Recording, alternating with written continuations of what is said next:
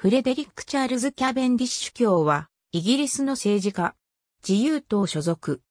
第2代バーリントン伯爵ウィリアム・キャベンディッシュと、第6代カーライル伯爵ジョージ・ハワードの娘レディ・ブランチの間に次男として、サセックス州、イーストボーンにあるコンプトン宮殿で生まれる。兄に第8代デボンシャー公爵となったスペンサーがいる。家庭で初等教育を受けた後、1854年にケンブリッジ大学トリニティカレッジに入学し、1858年に学士号を取得。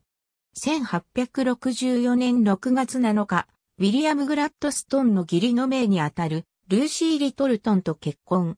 1865年イギリス総選挙で北西ライディングオブヨークシャー選挙区から当選し、以後3期庶民委員議員を務める。1882年5月、ウィリアム・グラッドストン首相によりアイルランド担当大臣に任命され、ダブリニへと赴任したが、任務引き継ぎの数時間後に、市内のフェニックスパークで、アイルランド人民族主義者により暗殺された。ありがとうございます。